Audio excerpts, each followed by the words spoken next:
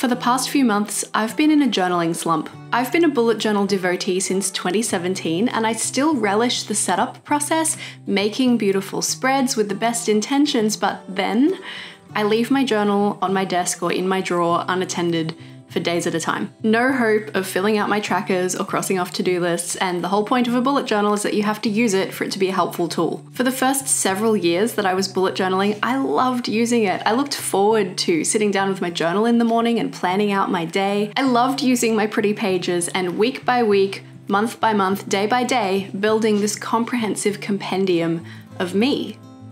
So, what changed? It's not that the spreads I'm setting up don't work for me, or that I don't like how they look, or that I've strayed too far from the original bullet journal method. It's not even that I don't have time. What changed is that I stopped romanticizing my journal. I've always believed that notebooks and journals are a little bit magic, and I still do. A brand new blank notebook is untapped potential.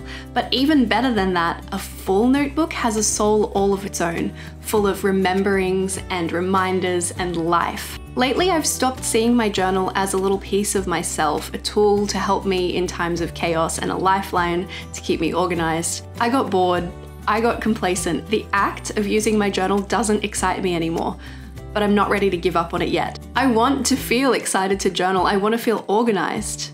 I want to start romanticizing my bullet journal again. This idea of romanticizing your life became popular during the darkest days of the pandemic. It's essentially a mindfulness exercise that's supposed to help you feel more present and more fulfilled and help you learn to find little moments of joy in your everyday life. It's teaching yourself to find beauty in things that might otherwise seem small or mundane or insignificant. This concept of romanticizing your life is something I've been thinking about a lot lately, but I thought it would be particularly interesting to see if I could take some of those principles and apply them to the practice of using my journal to see if that could help me fall back in love with it. So, where did I start? Well, I turned to social media, which is always a fraught but visually beautiful thing to do, specifically to Instagram, and here's what I found. I found some of us make beautiful journaling nooks in our homes or our bedrooms. Some of us make a journaling and tea, journaling and coffee, journaling and wine ritual with a lit candle and a cozy blanket, while some of us take our journals out with us to beautiful places, to parks and gardens and cafes and libraries, and capture a little of the spirit of the world in the dust and the ink that marks those pages. I decided I'd try it all. I started with an office space overhaul, I work from home, so this is where I journal, it's where I film and edit my videos, it's where I edit photos for my clients, and it's where I send emails. I spend a lot of time here, so it gets messy really quickly. I'm honestly sick and tired of cleaning and tidying and reorganizing this space, which means there's too much in it. I decluttered. I was ruthless. I eliminated a big box of stationery, gorgeous washi tapes and stickers and paper that I'd used some of and felt finished with, or simply never felt an affinity with in the first place, and I listed it on Facebook Marketplace for $5. It was collected by the mother of a teenage girl whose love of stationery and journaling is just beginning to blossom. I felt that little thrill of magic start to spark. Then I made a second box of stationery. These are items I'd never even touched or I'd barely used, and that box is for one of you. We'll talk about giveaway details later on in the video. I wanted to keep only what would fit in my desk drawers. They're still pretty packed, but I'm so happy not to have overflow boxes of more washi stashed in other cupboards. All the stationery I've kept is stationery I truly want to use. A beautiful but sometimes overwhelming part of making content that is based around journaling is that I'm quite often sent more stationery than I can reasonably use, and I don't always get to choose. I know some people love bursting shelves and drawers and having so much variety, but I am not a collector. I prefer to keep only the things that I can really see myself using. Actually, something I'm including in my journal going forward is a regular decluttering schedule. I have it here on my monthly reset page. Hopefully, if I'm decluttering regularly, that will keep things manageable and I won't get so overwhelmed. Not just overwhelmed by choice when I sit down to journal, but also keep me from feeling overwhelmed in a cluttered space.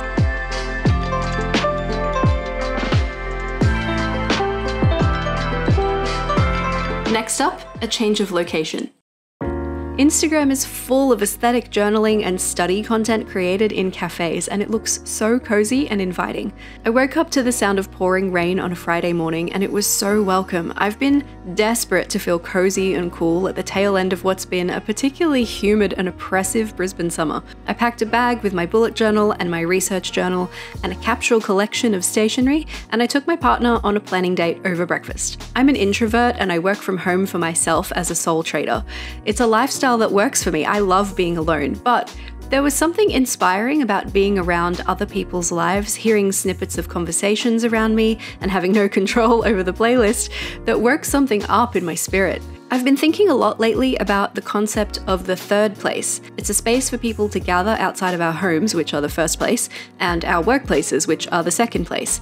As someone who works from home, I don't even really have that second place, and I've noticed I can become a total recluse without even realizing it's happening. As introverted as I am, I also crave that sense of community and connection, so taking my journals out to a cafe or library and just getting out of my space can do me a lot of good. There's also something about being creative within certain limits that really works for me. Only taking a selection of washi and stickers with me means I have to make those work with whatever spreads I want to create, and I can only take as much as I can carry. Since taking my journals out to beautiful spaces is something I want to do more often, I also wanted to elevate the experience even further with a beautiful bag to carry my journals and supplies with me, which brings me to today's sponsor Teddy Blake, creators of luxury leather handbags without the exorbitant price tag. I've never really been a luxury handbag kind of girl for a few reasons. Most importantly, probably the prohibitive pricing, but also I'm kind of picky. I didn't want to spend $2,000, but I also didn't want a utilitarian looking canvas thing. And I'd tried some pretty bags in the past that were cheap, but they ended up just falling apart after a couple of months of use. If I'm going to invest in a quality leather handbag, I want it to be a classic and timeless design that I know isn't going to be off trend in a year or two, but I also really like unusual colors. I love a pop of color. I was honestly just starting to think my expectations were unreasonable and the bag I wanted didn't exist. And then I found her. Introducing my Teddy Blake Kim Stampato 14 inch bag in light pink. The folks at Teddy Blake actually very kindly gifted me this bag and I'm so grateful because she is truly everything I wanted. She's elegant, but she's fun. She's my signature color. She's made from this gorgeous Italian leather that Honestly, when you first open the box, the smell kind of hits you and that's an experience in itself. But best of all, she can fit a B5 notebook without breaking a sweat, or an iPad, or an e-reader, or a nice big hardcover book. My favourite configuration so far is a notebook or two, a small pencil case, my wallet, and my phone, and I tuck my keys and my lipstick into the little inside pocket for easy access. It's a little on the heavy side with two journals, so I prefer the shoulder strap, but it does also look gorgeous over the crook of your arm or carried by the handles. Teddy Blake's bags are made in the same Italian factories as other luxury brands by experienced luxury leather craftsmen with a focus on high quality construction and durability, which is so reassuring. Journals can get heavy, but I'm not worried about wearing this bag out. I've already been using it pretty heavily for about a month and I can't see a single sign of wear. All Teddy Blake's bags are available in a range of sizes, some even bigger than this one, and plenty of smaller sizes too, and in a range of colours and leather styles, some bold, some classic. I definitely recommend you visit their website and have a scroll, there's really something for everyone. Here's the best part Teddy Blake are democratising luxury by selling their designer bags direct to consumer online and spending less across marketing and branding, which means they're able to make their prices far more accessible. My Kim Stampato 14 inch bag would cost 1,400 $70 US at a traditional retail price, but from Teddy Blake, it's just 535 US, so that's $935 less than other luxury brands. If you want to twin with me and be journal bag buddies, or see what else Teddy Blake has on offer for your journal travels or for day to day, follow the links in the description. I've got a link there to my specific bag and also to the website generally in case you'd like to explore more. Thank you so much to Teddy Blake for sponsoring this video and helping me romanticize my journal even when I'm on the go. So, let's take this bag and my journal out on the town. For this little cafe journaling session, I brought my bullet journal, my research and development journal, a few pens, a few washis, and a sticker book. I spent two hours planning for my upcoming reading journal workshops in Brisbane in March and setting up some example layouts that I can pass around to my attendees to give them ideas. I'll pop a link to some more info about those workshops in the description in case you're local to Brisbane and keen to learn more about reading journaling with me. Here's what I found out about journaling in a cafe. I didn't want to use my washi or stickers. It was too much mess and fuss, and I felt really conspicuous. I'll be keeping this to just pens in the future, which means cafe journaling for me is great for things like content planning, regular long form thoughts and feelings journaling, or brainstorming. I think I'd feel more comfortable taking the extra pretty stuff with me to a library, so that might still happen. I'm also toying with the idea of getting a reusable sticker book so I can pre select a bunch of stickers and maybe even pre cut some PET tape sections and have that ready to go when I want to leave the house for some offsite journaling time. From a productivity standpoint, getting out of my office was a game changer. Sometimes when I'm sitting here at my desk, I can feel the weight of my whole to do list on my shoulders all around me. Being away from that really helped me focus in on a singular task and only taking the things I needed to complete that one task also made it a great way to get things done, a nice change of scenery, an excellent co-working opportunity, and generally a great way to spend a Friday morning. I will absolutely be making this a regular part of my week. I often have the house to myself in the evenings and I always think, oh, that'll be a great time to journal. And then I end up on the couch watching TV with my cat because I don't want to come back into this workspace, what feels like my workspace, during what's supposed to be my leisure time. I wanted to find a way to make it feel different, and as a photographer, I went straight to the best way I know to change a mood lighting. It was still raining outside, which definitely helped. I cleared everything off my desk, I turned on my desk lamp, and I lit an array of candles tea lights, tapers, and a gorgeous mint and vanilla scented candle. I put on a playlist called Mood Magical, and I let myself absorb into the vibe. I never imagined I'd be setting up reading journal spreads to Brian Eno on a Saturday evening, but it was glorious. I got completely into a flow state and I smashed out four reading journal spreads. I'd made myself a cup of tea as well, but I was so absorbed in my journaling that I mostly forgot to drink it and it went cold. I felt witchy and serene and so relaxed. I couldn't recommend this enough. Candles and Brian Eno might not be your perfect romantic journaling combo. For you, it might be your journal plus fresh flowers and morning sunshine, or your journal plus coloured LED lights and trance music, or your journal plus a glass of wine on your balcony and the sounds of your city or the countryside around you. Whatever it is that makes sitting down to journal feel special to you, I urge you to do it.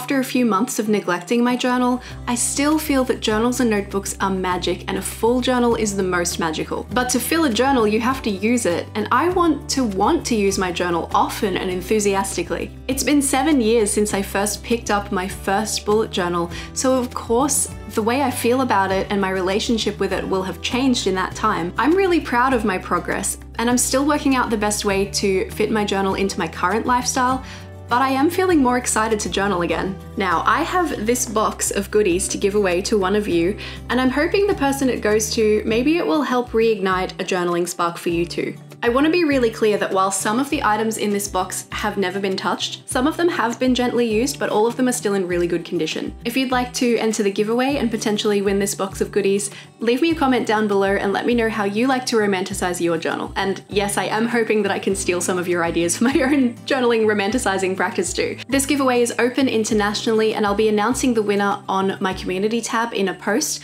one week from today. So that will be Friday the 1st of March, Australian Eastern Standard Time, which might be Thursday for those of you in other places. I'm curious to know, have you ever been in a journaling slump? If so, did you get out of it? How did you get out of it? Did you change to a different planning method or style or a different kind of journal? Let me know what has worked for you because I'm really curious. And there are no right or wrong answers here, it's just we're all different and we find the things that work for us. If you'd like to keep watching, over here is my most recent bullet journal setup video for March 2024.